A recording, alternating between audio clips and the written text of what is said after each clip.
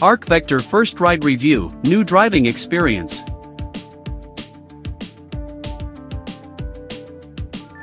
Radical front ends are a difficult sell.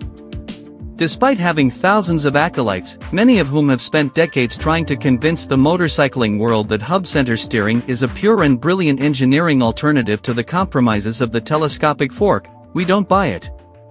Motorcyclists, as a whole, are not yet so keen on electric propulsion either. We know it's coming and that it's getting better, but for now we'll stick with the gas burners we know and love, thanks. Other futuristic concepts, like head-up displays and smart crash helmets? Erm, neat ideas, but we'll take a rain check.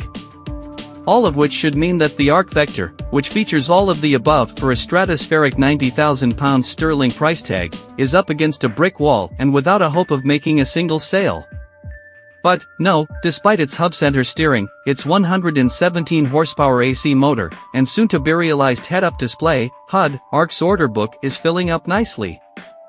Furthermore, Arc has an all-but finished bike ready to go and invited Cycle World to give it a quick blast on the roads around the company's HQ in the UK's English Midlands. The Arc Vector is the idea of Arc founder and CEO Mark Truman.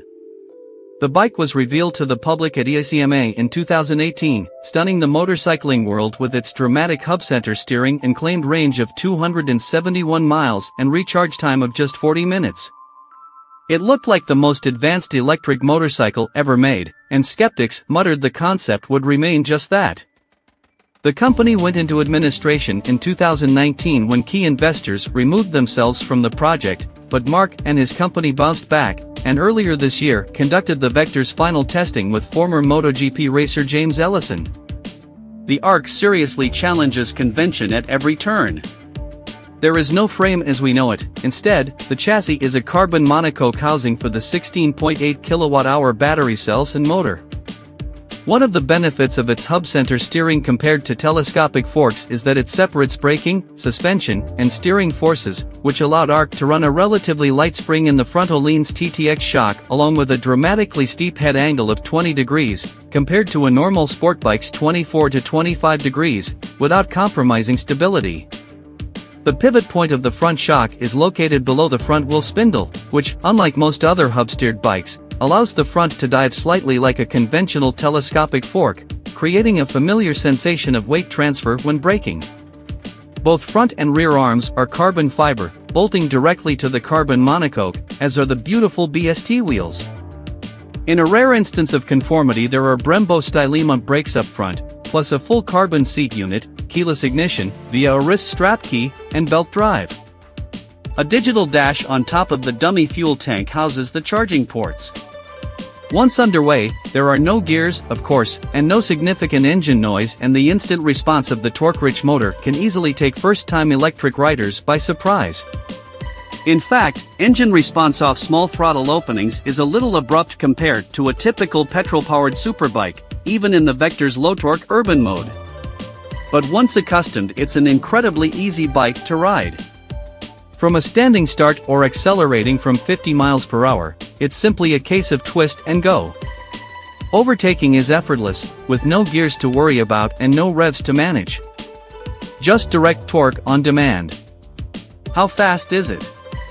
The 399-volt motor produces an extremely juicy peak of 128 pound-ft of torque and 117 horsepower of power, directed to the back wheel via a belt drive, not a chain, which was originally shown on the concept bike, but top speed is limited to 200 km per hour, or 120 miles per hour, with ARC quoting as 0 to 100 km per hour, 0 to 62 miles per hour, time of 3.1 seconds.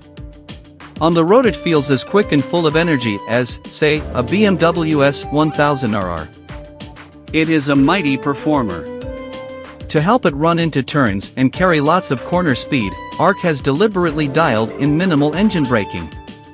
This means there's relatively little regen in the powertrain, which in turn gives the Vector something of a two-stroke feel, helping the rider flow into corners. Finished production Vectors will have multiple riding modes and rider aids, including lean-sensitive traction control and conventional ABS, developed in partnership with Continental. These were still to be installed into our bike and, certainly, traction control will be needed as I could feel the front wheel go light on occasions over crests.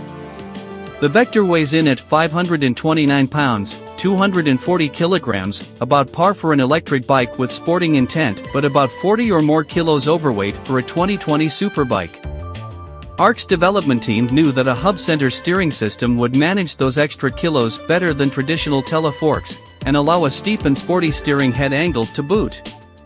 The team was also unconstrained by the need to design around the usual fixtures and fittings, like a radiator, water pipes, and exhaust, as well as having no significant engine heat to worry about. The Vector does feel heavy when pushing it around, there's no crawler or reverse gear, but once a leg is thrown over the 825mm 32.9 inches carbon seat for the first time and those carbon BST wheels are turning, that weight simply falls away. That steep 20 degree rake angle makes the ARC feel like a much lighter machine. It turns so quickly that it took a few miles to recalibrate as I was constantly steering too soon and hitting the apex too early, before picking up the bike and having a second stab at it. Within a few miles on twisty roads I found myself using less input at the bars and pegs to make it turn. I'd say that the Vector steers faster than any other electric superbike I've ridden, including the Energica I raced at Isle of Man TT. But it remains planted and super stable as the pace gets serious. With suspension and braking forces separated and a relatively light spring controlling the ride, you can feel the supple front end tracing road imperfections. There's no sense of detachment, which can happen with some funny front ends. The rear suspension uses a directly mounted TTX Öhlins unit, which is on the firm side and only comes into its own when the road opens and the traffic clears.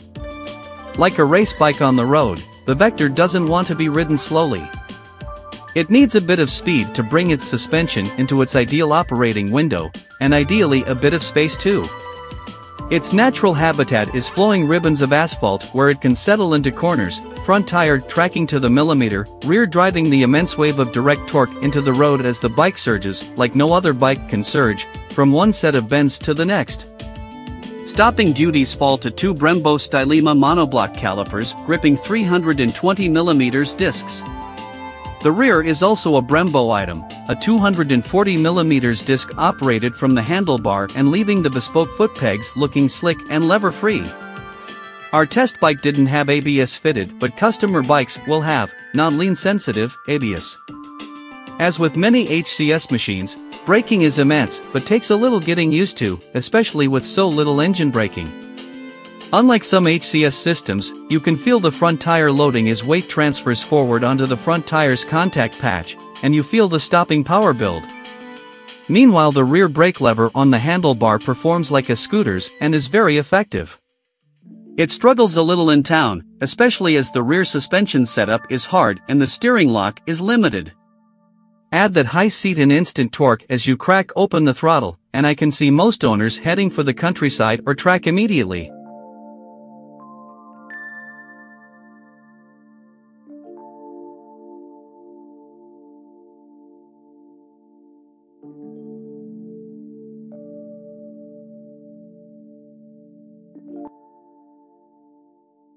Thanks for watching. Drop a like. Leave a comment. And don't forget to subscribe to watch more videos like this.